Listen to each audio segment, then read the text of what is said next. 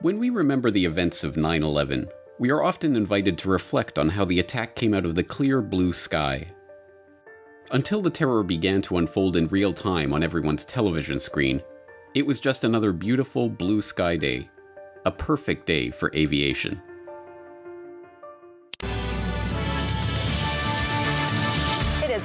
a.m. in Salisbury, North Carolina, 7 a.m. in Chicago, 5 a.m. in Calaveras County, California, where the news is being made on this Tuesday, September 11th.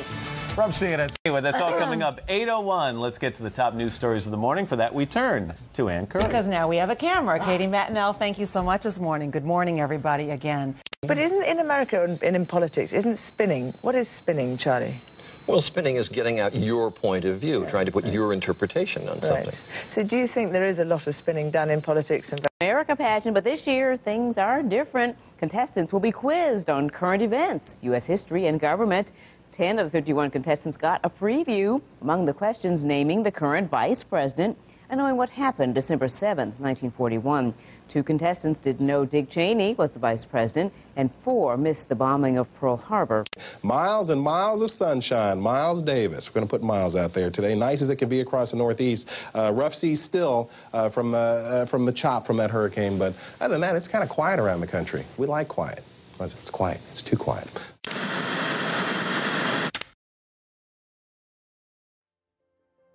But that was merely the public's impression of the events from ground level. Little did we know at the time, 9 11 was not a normal day of blue sky aviation. On the contrary, it was one of the busiest days in the history of American aviation. A dense forest of live fly exercises, drills, simulations, fake radar injects, and utter confusion. And that was before the attacks even began. This is the story of 9 11 that you didn't watch unfold on your TV that fateful day in 2001.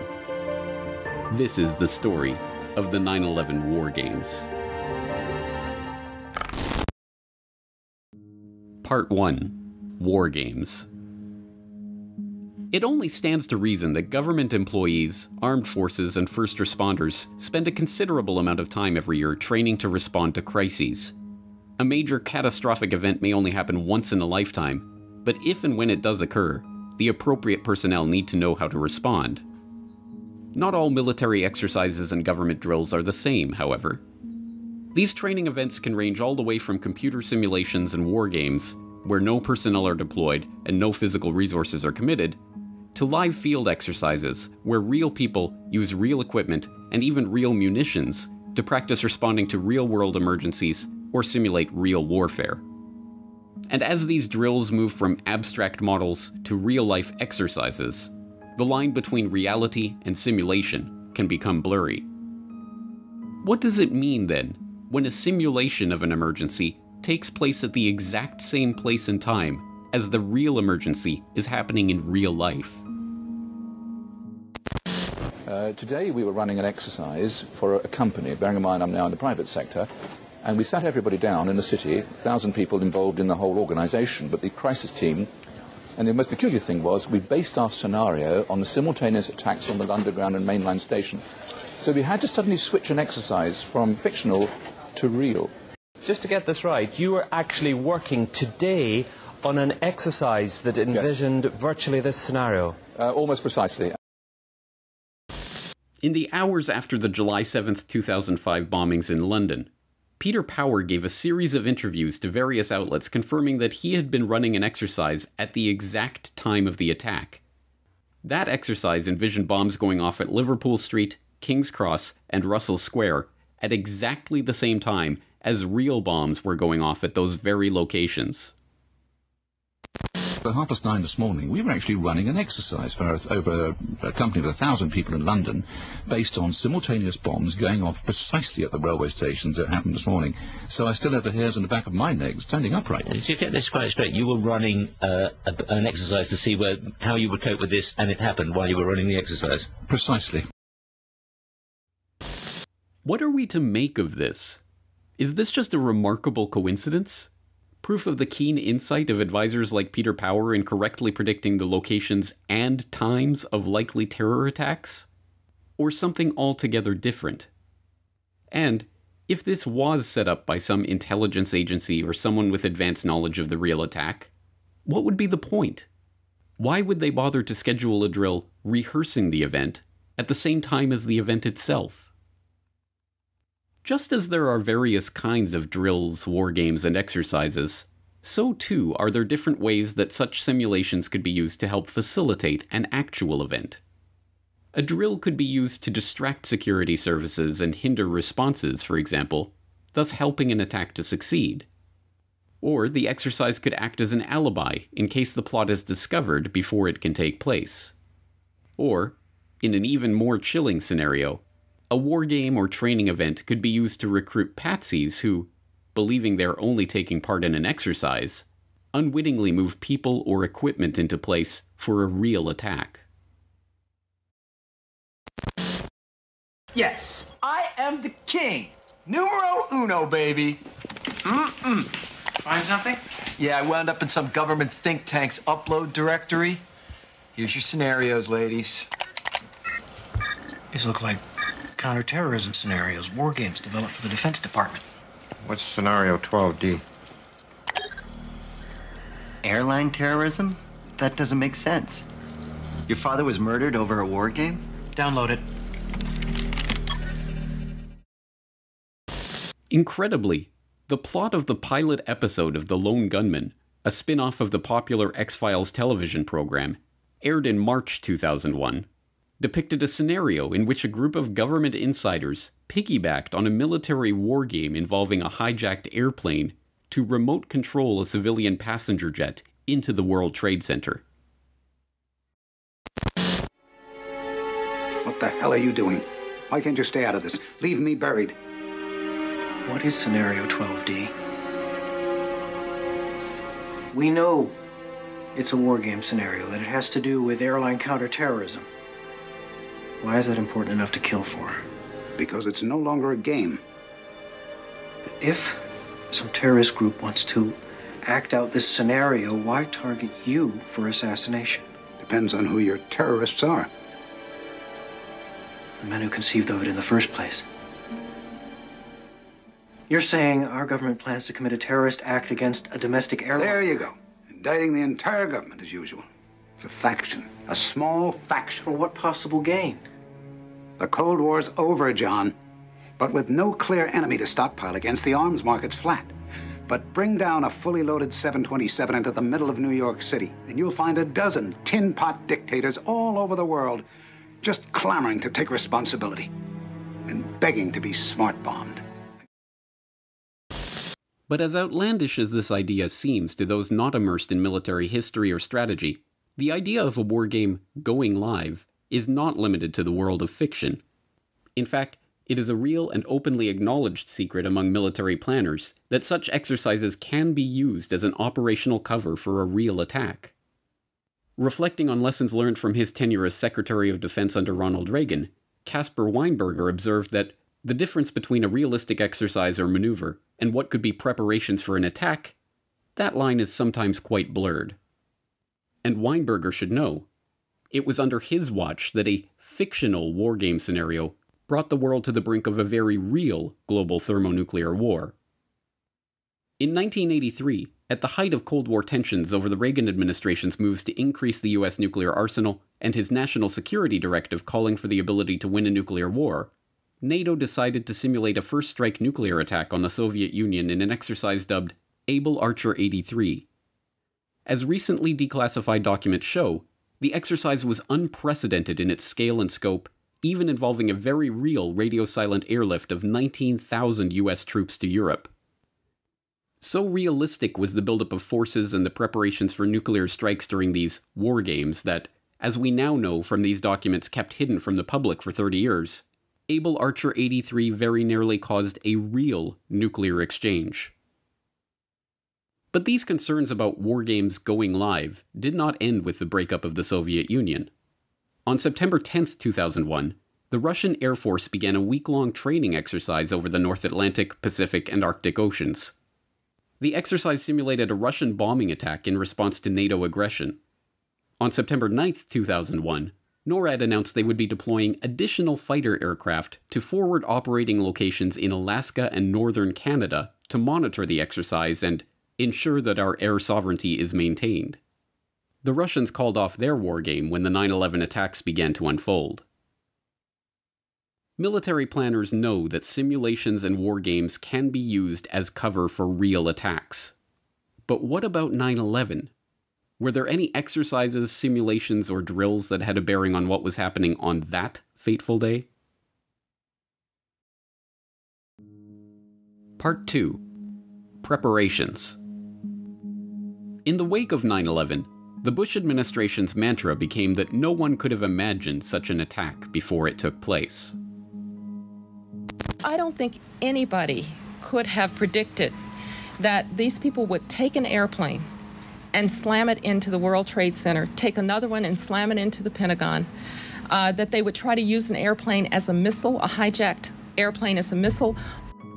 First, I must say, I knew of no intelligence during the six plus months leading up to September 11th that indicated terrorists would hijack commercial airliners, use them as missiles to fly into the Pentagon or the World Trade Center towers. Nobody in our government, at least, and I don't think the prior government that could envision flying airplanes into buildings on such a massive scale. But, like everything else the Bush administration told the public about 9 11, this too was a lie. Not only had government officials envisioned flying airplanes into buildings or using an airplane as a missile, but multiple agencies trained for just such an event prior to 9 11. In fact, as General Richard Myers, chairman of the Joint Chiefs of Staff from 2001 to 2005, went on to tell the 9 11 Commission, this precise scenario of a hijacked jet being flown into a high value target was drilled by NORAD not once or twice, but five separate times in the run up to September 11th. On November 6, 1999, they simulated an event in which terrorists hijacked a passenger jet flying out of JFK with the intention of crashing it into the United Nations building in New York. On June 5, 2000, they simulated two hijackings, one in which the terrorists intended to fly the plane into the Statue of Liberty, and the other in which the intended target was the White House. An October 16, 2000 NORAD drill saw a hijacker once again targeting the UN building, as did a nearly identical exercise on October 23rd of that year. One of NORAD's pre 9 11 hijack drills even saw the World Trade Center itself become the intended target. Other exercises involved not just hijacked jets as weapons, but tested NORAD's response to simultaneous hijackings being used in a coordinated attack on American airspace. Well, uh, obviously, uh, it would be hard to imagine uh, posturing for the exact scenario, but isn't it a fact, sir, that prior to September 11, 2001, NORAD had already in the works plans uh, to simulate in an exercise a simultaneous hijacking of two planes in the United States. Colonel Scott, do you have any data on that? I'm not aware of that, sir. I was not present at the time. That was Operation Amalgam Virgo. Amalgam Virgo is an annual NORAD field training exercise, meaning that real aircraft are deployed and actual personnel are used to simulate real life situations. The planning document for Amalgam Virgo 01, which took place in June 2001, featured a picture of Osama bin Laden surrounded by airplanes. Amalgam Virgo 02, which was already in the planning stages on 9 11 and actually took place in June 2002, involved a simulated hijacking of a real Delta Airlines 757 by military personnel acting as civilian passengers, and ran through multiple scenarios for stopping the plane from reaching its target, including a shootdown. But as uncanny as these similarities are to real life events, declassified documents from the 9 11 Commission archive show that many other types of hijack scenarios were practiced in the years before September 11th. These documents prove that many of the lies told about the confused response to the 9 11 attacks are just that lies. We have been told, for instance, that NORAD wasn't set up to deal with the domestic hijacking threat because the Joint Command was solely focused on outward threats. It's the, the way that we were directed to posture, looking outward. Those were the orders that NORAD had and has had for ever since the end of the Soviet Union when we had, at that time, I think it was 26 alert sites around the United States, and we'd gone down to seven. But time after time between 1999 and 2001, NORAD simulated so called inside inside events, where domestic airliners bound for domestic destinations were hijacked en route. General Myers simply lied when he said that NORAD's defenses were only directed toward outside threats. As these documents show, NORAD was actively engaged in modeling domestic terror threats, not only domestic civilian airliner hijackings, but even one scenario, dubbed Fertile Rice, in which Osama bin Laden directed an attack on Washington using a drone aircraft laden with explosives. And these were not the only pre 9 11 training events that bore a striking resemblance to the actual attacks. The specific scenario of a plane crashing into the Pentagon was drilled not just once or twice, but at least three separate times in the year prior to September 11th. In October 2000, a Pentagon mass casualty exercise, or MASCAL, envisioned a scenario in which a passenger jet hit the Pentagon. Army medics, the Arlington Fire Department, and other emergency responders participated in the drill. In May 2001, another Pentagon mass casualty exercise tested responses to a passenger jet crashing into the Pentagon's courtyard. This time, the Tri Service DiLorenzo Healthcare Clinic and the Air Force Flight Medicine Clinic participated in the training. Lieutenant Colonel John Felizio, Deputy Commander for Administration of the DiLorenzo TRICARE Health Clinic, later remarked You know, it was kind of eerie. The scenario we had for these MASCALs was very similar to what actually happened. Our scenario for both MASCALs was a plane flying into the Pentagon courtyard. Then, in August 2001, just one month before 9 11, yet another Pentagon mass casualty exercise practiced building evacuation. As General Lance Lord, commander of Air Force Space Command, later noted, purely a coincidence, the scenario for that exercise included a plane hitting the building. Purely a coincidence.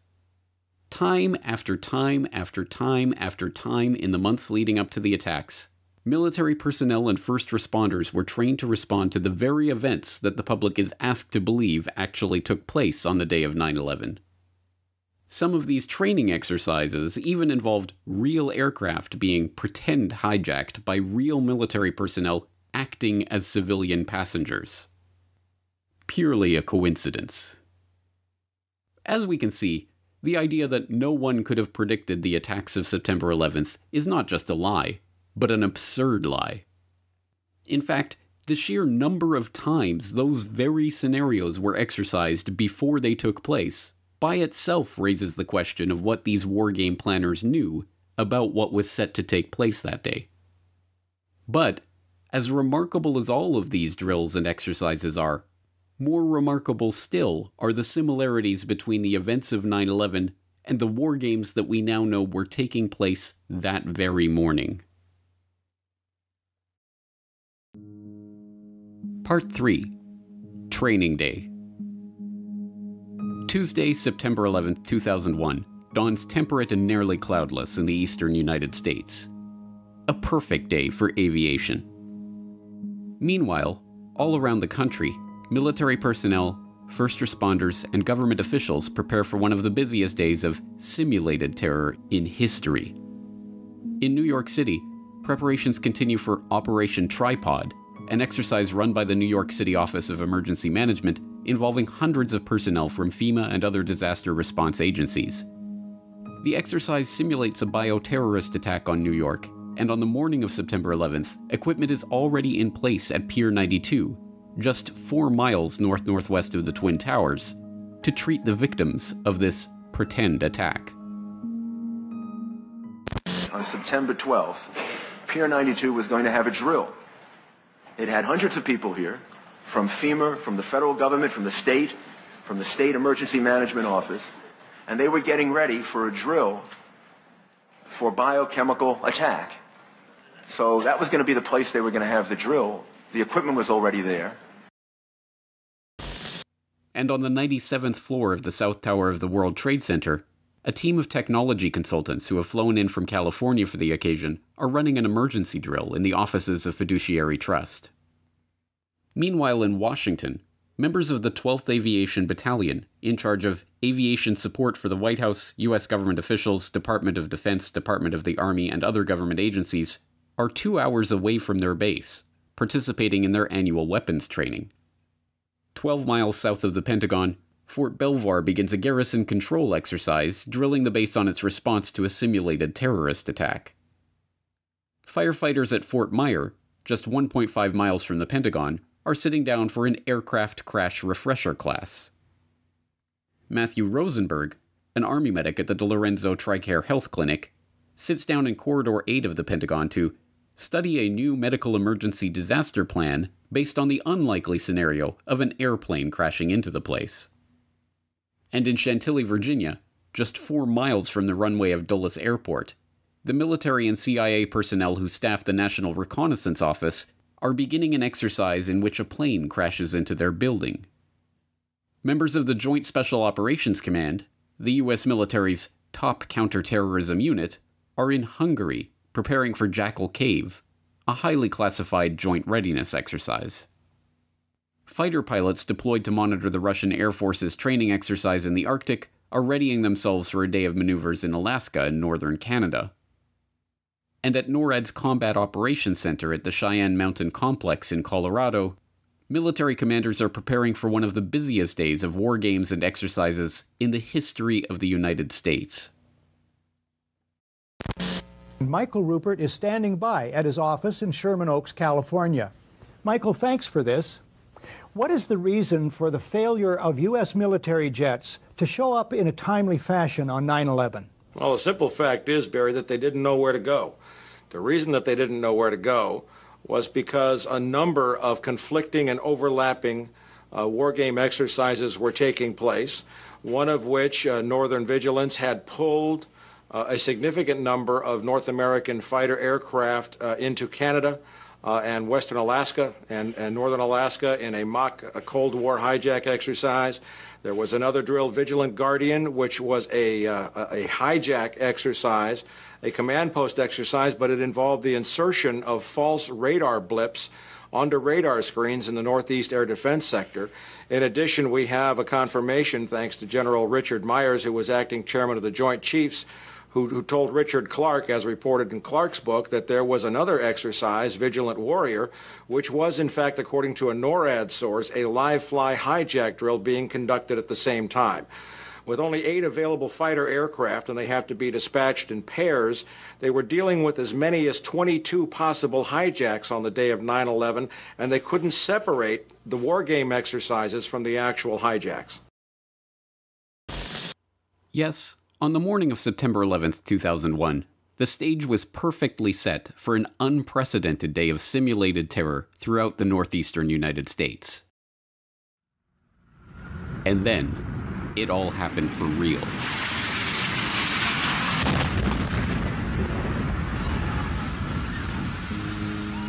Part 4 This is not an exercise. Hi, Boston Center TMU. We have a, a, problem here. We have a hijacked aircraft headed towards New York, and we need you guys to, we need someone to scramble some F-16s or something up there to help us out.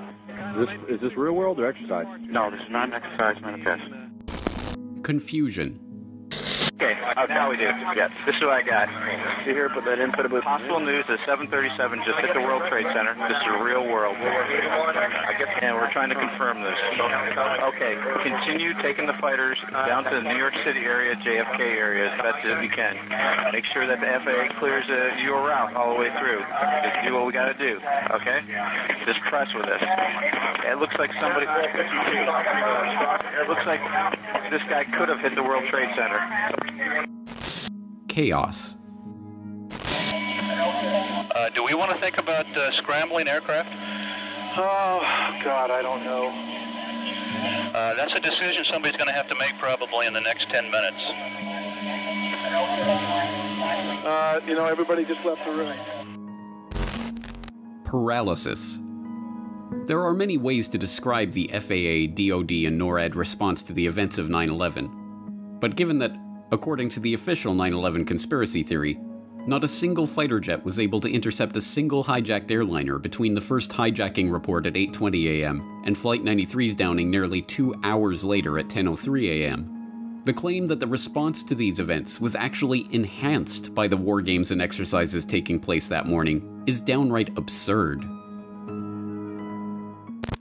The question was we had four war games going on on September 11th, and the question that I tried to pose before the uh, secretary had to go to lunch was um, whether or not the activities of the four war games going on on September 11th actually impaired our ability to, to respond to the attacks. Uh, the answer to the question is no, did not impair our response. In fact, uh, General Eberhart, who was then the commander of North American Aerospace Defense Command, as he testified in front of the 9/11 Commission, I believe, I believe he told them that it enhanced our ability to respond, given that NORAD didn't have the overall responsibility for responding to the attacks today. That was uh, an FAA responsibility. Uh, a question about uh, our, our training posture on the day of 9 11. On page five of our staff statement, uh, the FAA says at 8:38 in the morning, "Hi, Boston Center, TMU. We have a problem here. We have a hijacked aircraft headed towards New York, and we need you guys to. We need someone to scramble some F-16s or something up there. Help us out." NEADS says, "Is this real world or an exercise?" My question is, you were postured for an exercise against the former Soviet Union. Did that help or hurt? Did that help in terms of were more people prepared? Uh, did you have more people ready? Was, were more, more uh, uh, uh fighters fueled uh, with more fuel? Or did this hurt in terms of people thinking, no, there's no possibility uh, that this is real world. We're, we're engaged in an exercise and delay things. Or did it have both impacts? Sir, uh, my, my belief is that, uh, is that it helped. Uh, because of, of, the manning, because of the focus, because the, the crews, uh, uh, they have to be airborne in 15 minutes, and that morning, because of the exercise, they were airborne in six or eight minutes. And so I believe that focus helped. The, the situation that you're referring to, I think at most cost us 30 seconds. These lies have been carefully crafted over years and presented in such densely packed sound bites that it is difficult to deconstruct them all. General Myers' assertion that it was not NORAD but the FAA that had the responsibility to respond to the attacks that morning is one such lie. In reality, NORAD is specifically tasked with dealing with such events itself, not waiting passively for FAA orders. NORAD's own regulations for dealing with hijacked jets specifically state that FAA authorization for interceptor operations is not used for intercept and airborne surveillance of hijacked aircraft within the continental United States. And General Eberhart's assertion that the confusion over whether the events that were unfolding were real world events or merely exercises cost us 30 seconds is belied by the actual audio recordings of the FAA and NORAD response that morning. Time and time again throughout the entire morning, air traffic controllers and military operators are forced to clarify that the events being reported are not part of an exercise. Hi, Boston Center TMU. We have a, a, problem here. We have a hijacked aircraft headed towards New York, and we need you guys to we need someone to scramble some F-16s or something up there to help us out. Is this is this real world or exercise? No, this is not an exercise, not a test. What? What was that? Not real world. Real world magic. Cool. Real? 1443. Look for it right there. Okay, mode 3, 1443, last known. No, this is real world. Okay, run high check. I've never seen so much real world stuff happen during an exercise. I think we put the exercise on the hold. What do you think?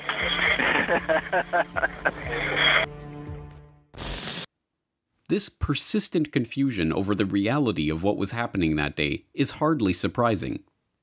Although the exact details are still shrouded under a cloud of official secrecy, On the morning of 9 11, NORAD was in the middle of a week long war game that, coincidentally, included simulated hijackings of passenger jets.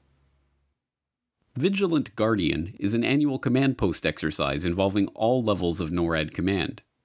Vigilant Guardian 01 was a week long war game described as a simulated air war, and just two days before 9 11, it had involved a simulated terrorist hijacking of a civilian passenger jet by terrorists intending to blow the plane up with explosives over New York City. Even more remarkably, on the morning of September 11th, they were planning to simulate another passenger jet hijacking just one hour after the attacks began to unfold. In 2006, Vanity Fair reporter Michael Bronner was the first journalist given access to the tapes of NORAD operations that morning. In his subsequent article on the subject, 9 11 Live, the NORAD tapes, Bronner talked to Lieutenant Colonel Kevin Nasypany, the mission crew commander on the ops floor at the Northeast Air Defense Sector on the morning of 9 11. When they told me there was a hijack, my first reaction was, somebody started the exercise early, Nasypany later told me. The day's exercise was designed to run a range of scenarios, including a traditional simulated hijack in which politically motivated perpetrators commandeer an aircraft, land on a Cuba like island, and seek asylum. I actually said out loud, The hijack's not supposed to be for another hour, Nasypany recalled. As a command post exercise, Vigilant Guardian was not conducted with real airplanes, but what's known as sim over live, where simulated aircraft are injected into NORAD's air traffic system. Although the official narrative holds that the simulated injects were cleared from NORAD's radars as soon as they appeared, thus causing no confusion, the actual NORAD tapes tell a different story. At 9:04 a.m., directly after Flight 175 crashed into the South Tower, Two officers monitoring the events at NORAD's Northeast Air Defense Sector, NEADS, can be heard to refer to the events as potential exercise inputs. Is this explosion part of it that we're looking at now on TV? Boston Yes. is now grounding. Jeez, all and then aircraft out of possible second hijack also at United FAA Airways. Center, where they're working at right now. Two planes? He was in Whiskey 105. Get the fuck out. I think this is a damn input. At 9:09 a.m., one NEADS technician complains about the exercises taking place and the confusion with real-world events. Langley's on Fuck. Oh nine. What? On battlefield. Oh nine. Happy to see you. Langley. LFI. I know. Fort. I hope they cancel the exercise because this is ridiculous. And at 9:15 a.m., an off-duty NEADS technician calls in to ask about the day's events and the ongoing exercise. You guys watching the news? Yeah, they got around in the battle cab right now. Yeah. I'm watching for about 10 minutes, I I wonder if they're, they could spend the exercise? Uh, not at this time, no. But I think they're going to. yeah. Things look pretty horrific out there, so. Remarkably, at 9:30 a.m., a full hour and 10 minutes into the attacks, simulated aircraft were still being injected into the radar screens at NEADS. One frustrated staff member directing the response on the NEADS operation floor had to order his coworkers to turn their sim switches off, stopping the fake simulations from confusing the radar operators. You know what? Get rid of this goddamn sim. Turn your switch. Hey, turn the sim switches off. Get rid of that crap. Even worse, at the same time as these false inputs were distracting the radar operators, real military aircraft that were taking part in live fly exercises that day were further complicating the response to the attacks. Uh, Boston Center team, you got a question for you. Yes, sir. The military aircraft that are uh, in the air right now. Yes, sir. We're wondering if we should tell them to return to base if they're just on training missions or what you guys No, no, they're actually on the active air uh, per the DO out there. I launched early. All right, so everybody's up. You want them up. Yes, we did send the ones home in 105 that were on the training mission. They are sent home. The Panthers are out there for Modus. Right, I understand that. I'm And talking about, um, I think there's somebody training up in uh, Falcon Axe area right now. I know. Oh, uh, Falcon, uh, stand by. Let me. Uh, if Just in general, anybody who's training. So, anybody in training, send them home. Training missions of Falcon, send them home. Yeah, we're gonna send. Yeah, yeah. Go ahead, go ahead, send them home. Okay, bye. Even more incredibly, false radar injects continued to show up on radar screens at NORAD's operations center in Cheyenne Mountain, Colorado at 10:12 a.m., a full 9 minutes after the attacks had ended. Sim, or sorry, uh, Northeast Weapons. Hello, this is uh, Captain Taylor calling from Cheyenne Mountain Test Control. Yes. Uh, what we need you to do right now is to terminate all exercise inputs coming into Cheyenne Mountain. Yes, can you call 6180 extension for that, please? 6180? You bet, he'll give you that. I'll do that. Okay, thank you. In the face of this overwhelming documentary evidence that the exercises taking place that morning were a persistent source of distraction that significantly complicated response efforts, the retort of the 9 11 Commission and its proponents that these false radar blips were a minor issue that, at most, cost us 30 seconds rings exceedingly hollow. But that official story becomes even more implausible when it is learned that air traffic controllers and military personnel were not responding to four clearly reported hijacked aircraft, as the public now imagines it, but as many as 29 potential hijackings. We were in the process of launching aircraft uh, all over the country during that time frame. We had multiple aircraft called hijacked all over the country. And in fact, as uh, General Arnold said, our, we fought many phantoms that day. Now, we got many aircraft calls inbound uh, that morning that turned out to be uh, phantoms. These false reports included United Airlines Flight 177, which was inexplicably reported as hijacked at 9:25 a.m. despite still being on the ground at Boston's Logan International Airport. Delta 1989, a 767 flying from Boston to Los Angeles that was repeatedly identified as suspicious on the morning of 9 11 and ordered to land at a secure, remote area of Cleveland Hopkins Airport, where the pilot signaled all clear to the SWAT team outside the plane with blood running down his face. Continental Airlines Flight 321, which had inexplicably squawked the hijack code from the plane's transponder three times before being safely brought down in Peoria, KAL 85, en route from Seoul, South Korea to New York, which inexplicably sent five separate and ongoing indicators of a hijacking situation before being intercepted by NORAD fighters over Alaska and directed to land at Whitehorse in northern Canada or be shot down. And literally dozens of other suspicious aircraft, inexplicable hijack indicators, false reports of planes that never existed, and other bizarre incidents, some of which have still never been explained to the public to this day. But the most baffling of all of these reports involved American Airlines Flight 11, the Boeing 767 en route from Boston to Los Angeles that, according to the official government conspiracy theory, was hijacked by Mohammed Atta and flown into the North Tower of the World Trade Center. Incredibly, air traffic controllers and military fighter jets spent much of the crucial time in the midst of the 9 11 attacks dealing with a completely false report that Flight 11 had not crashed into the World Trade Center at all, but was instead still airborne and heading towards Washington. Scoggins Military, Boston Center. Just had a report that American 11 is still in the air and it's on its way towards heading towards Washington. Okay, American 11 is still in the air on its way towards Washington? Another, it was definitely another aircraft that hit the tower. That's the latest report we have. Okay. I'm going to try to confirm an ID for you, but I would assume he's somewhere over uh, either New Jersey or somewhere further south. Okay, so American 11 isn't a hijack at all then, right? No, he is a hijack. He, American 11 is a hijack. Yes. And he's going into Washington? Could be a third aircraft.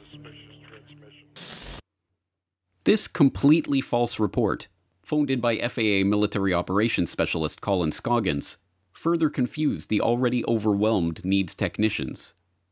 In response, NEADS mission crew commander Kevin Nasypany scrambled some of the only fighters in the entire defense sector to chase after this phantom flight. Okay, uh, American Airlines is still airborne. 11, the first guy, he's heading towards Washington. Okay, I think we need to scramble Langley right now, and I'm gonna I'm gonna take the fighters from Otis and try to chase this guy down if I can find him. So confusing was this series of events that even years later at the 9 11 Commission hearings, both commissioners and military commanders struggled to even communicate about the problem itself, let alone determine how such a false report persisted for so long. Commissioner Gorelick? A couple of follow-up questions. Um, First, for General Arnold. Um, You testified before us uh, before that the uh, jets were scrambled in response to Flight uh, 93, not, not um, American 11. And one what you were I asked was about... wrong. I was wrong. Yeah, and, but, but the, the question ab- about, about that is, and I want to be fair to you and give you an opportunity to respond, you said that the, the reason that you were wrong is that you hadn't had an opportunity to listen to the tapes, or the tapes were not accessible. But, I mean, we have, I'm just holding four of them, different uh, headquarters and CONR logs that are, that are clearly reflect that the scrambling was done in response to this phantom uh, American 11, which didn't exist anymore. And I, I, it was your responsibility, as I recall, to do the after-action report or to lead it or to be in part responsible for it. Um, did you not look at the logs in that process? Well, you referred to an after-action report that, um, that I was, that we didn't do.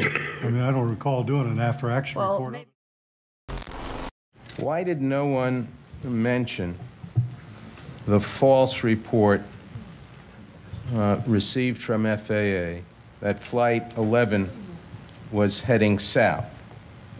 Uh, During your initial appearance before the 9/11 Commission back in May of last year?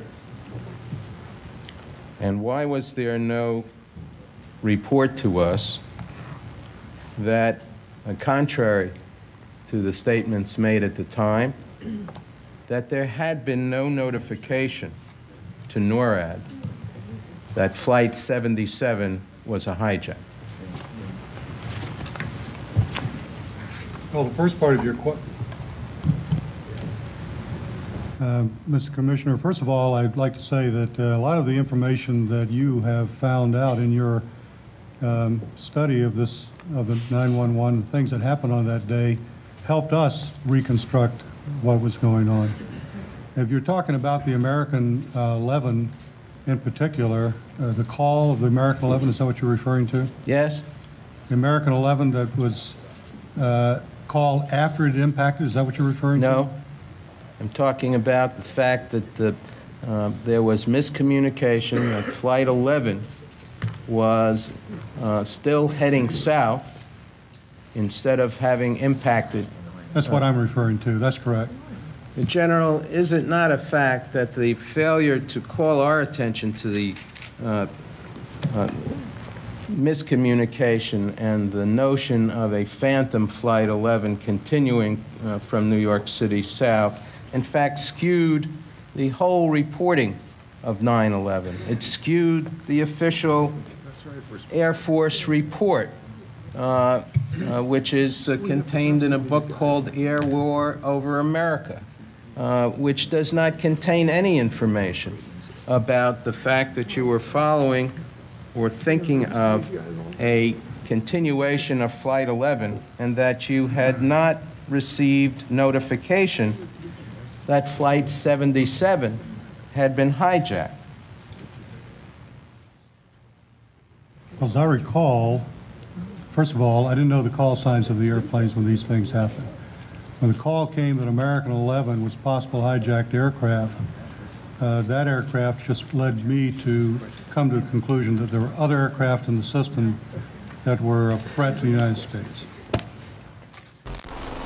In their testimony and in other public statements, NORAD officials also stated that the Langley fighters were scrambled to respond to the notifications about American 77 and or United 93. These statements were incorrect as well. The report of American 11 heading south as the cause of the Langley scramble is reflected not just in taped conversations at NEADS, but in taped conversations in FAA centers, on chat logs compiled at NEADS, Continental Region headquarters, and NORAD, and in other records. Yet, this response to a phantom aircraft, American 11, is not recounted in a single public timeline or statement issued by FAA or DoD. Instead, since 9 11, the scramble of the Langley fighters has been described as a response to the reported hijacking of American 77 or United 93 or some combination of the two. This inaccurate account created the appearance that the Langley scramble was a logical response to an actual hijacked aircraft.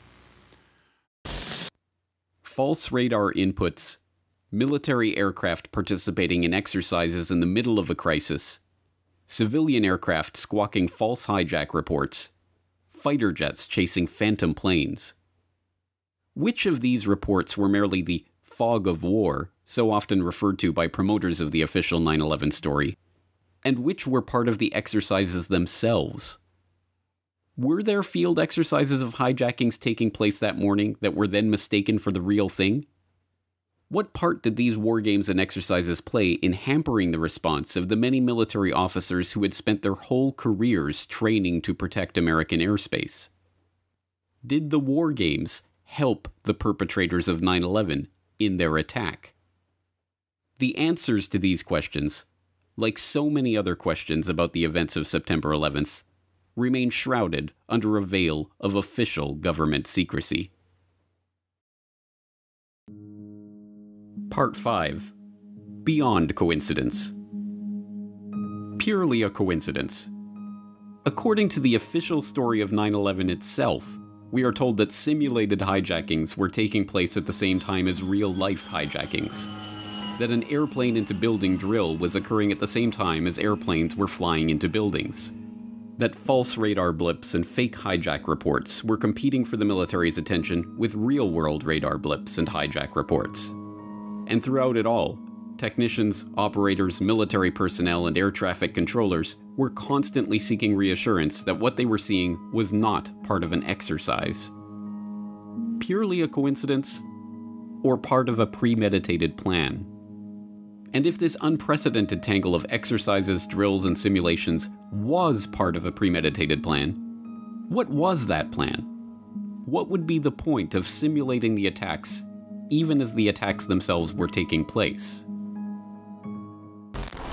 For me, the pivotal evidence, absolutely demonstrating direct government complicity in and management of the attacks, was found in a number of undisputed yet virtually unaddressed war games that I have shown were being conducted, coordinated, and or controlled by Vice President Dick Cheney or his immediate staff on the morning of September the 11th. The names of those war games are known to include Vigilant Guardian, Vigilant Warrior, Northern Guardian, Northern Vigilance, and Tripod 2. There is a possibility that Northern Guardian, excuse me, is a duplicate name, but the remaining exercises are indisputably separate events with different objectives. All have been reported by major press organizations relying on undisputed quotes from participating military and FAA personnel. They have also been confirmed by NORAD press releases all except for Northern Vigilance and Tripod 2, had to do with hijacked airliners inside the, United, the continental United States, specifically within the Northeast air defense sector or NEADS, where all four 9 11 hijackings occurred. According to a clear record, some of these exercises involve commercial airline hijackings. In some cases, false blips or injects were deliberately inserted into, onto FAA and military radar screens and they were present during at least the first attacks. Excuse me. This effectively paralyzed fighter response. Because with only eight fighters available in the region, there were as many as 22 possible hijackings taking place. Other exercises, specifically Northern Vigilance, had pulled significant fighter resources away from the northeast U.S. just before 9 11 into northern Canada and Alaska. In addition, a close reading of key news stories published in the spring of 2004 revealed for the first time that some of these drills were live fly exercises, where actual aircraft, likely flown by remote control, were simulating the behavior of hijacked airliners in real life. All of this as the real attacks began. The fact that these exercises have, had never been systematically and thoroughly explored in the mainstream press or publicly by Congress, or at least publicly in any detail whatsoever by the so called Independent 9 11 Commission, made me think that they might be the holy grail of 9 11. And that's exactly what they turned out to be. Only one war game exercise, Vigilant Guardian, was mentioned in a footnote to the Kean Commission report, and that it was deliberately mislabeled as an exercise intended to intercept Russian bombers instead of a hijack exercise in the Northeast sector. Even then, a deliberate lie was told to the American people as NORAD Commander General Ralph Eberhart testified to the Commission that the exercise actually expedited U.S. Air Force response during the attacks. Before the Commission's final hearing, I undertook a direct investigation in an attempt to learn more details about each of the exercises and specifically who was controlling them or had planned them to take place on September the 11th. For it's abundantly clear, based upon the record of statements made by the U.S. Air Force and FAA personnel, that the games had effectively paralyzed fighter response during the attacks. The exercises taking place on 9 11 could only be to the benefit of the attackers. No stand down order would have kept any dedicated fighter pilot worth his salt grounded during the only attack on his country's airspace in his lifetime. But if those fighter pilots and their commanders had no idea what was real and what was fake, what was an actual threat and what was just a phantom blip, then their response could be effectively contained. And it was. The utter failure of the air response that morning is proof of that. But if the simulations and war games on the morning of 9 11 were part of a premeditated plan on the part of the attackers, then the obvious question is who were the attackers? Are we to believe that the dastardly Al Qaeda masterminds not only perpetrated the simultaneous hijacking of four civilian airliners, turning off the plane's transponders and putting them through a series of maneuvers that even advanced pilots could not replicate to hit their targets with pinpoint accuracy, but also penetrated the command structure of the US military and NORAD itself to direct the planning and scheduling of simultaneous war games, mirroring their own plot to confuse the air response to the attacks? Because if that sounds like outlandish comic book fantasy, then there is only one other possible conclusion that members of the National Command Authority, the U.S. military, and NORAD, in a position to plan and schedule such exercises, were the attackers themselves. What the hell are you doing? Why can't you stay out of this? Leave me buried. What is Scenario 12D? We know it's a war game scenario, that it has to do with airline counterterrorism. Why is that important enough to kill for? Because it's no longer a game. If some terrorist group wants to act out this scenario, why target you for assassination? Depends on who your terrorists are. The men who conceived of it in the first place. You're saying our government plans to commit a terrorist act against a domestic airline? There you go. Indicting the entire government as usual. It's a faction. A small faction. For what possible gain? The Cold War's over, John. But with no clear enemy to stockpile against, the arms market's flat. But bring down a fully loaded 727 into the middle of New York City, and you'll find a dozen tin pot dictators all over the world just clamoring to take responsibility and begging to be smart bombed. But that's just fiction. And the fact that it all happened in real life a few months later is just another pure coincidence. The truth of what happened that morning would be remarkably easy to come to if those involved in the planning and execution of the day's training events were to open the records and allow independent examination of the precise situations that were being trained that day. How those scenarios were arrived at, who planned them, who was in charge of them, what radar injects and false reports and live fly simulations were taking place, how these exercise inputs were relayed to technicians and air traffic controllers, and what steps were taken at what times to allow those events to continue even as the attacks they were supposed to be simulating were actually happening in real life. But we shouldn't expect the guilty parties to indict themselves, and so it is no surprise at all that the official government investigation into 9 11 studiously avoided facing any of these issues head on. believe uh, Commissioner Ask Gorelick. about the war games that were planned for 9/11. Commissioner Gorelick. Um, Tell us about the 9/11 war game. Could, could you please be quiet? We have only a few minutes with General Myers, uh, and I'd like to, and I'd like to, and I'd like to ask, a, I'd like to ask a question. General Myers, the, I'm, I'm sorry. I I would ask, please, people in the audience to be quiet if you want to stay here. So, what does it mean when a simulation of a catastrophic and catalyzing event takes place at the exact same place and time as that event is happening in real life? This is one of the many crucial questions of 9 11 that have been swept under the rug over the past 17 years. But it is not a rhetorical question. It is a very real question with a very real answer. And until that question is answered, we will never find justice for the victims of 9 11.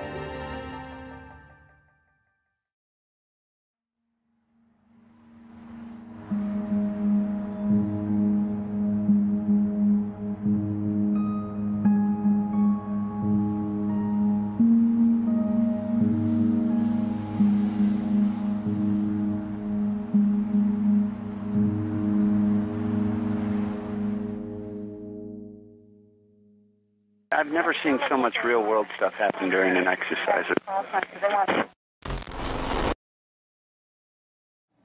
Here we go. Good, man.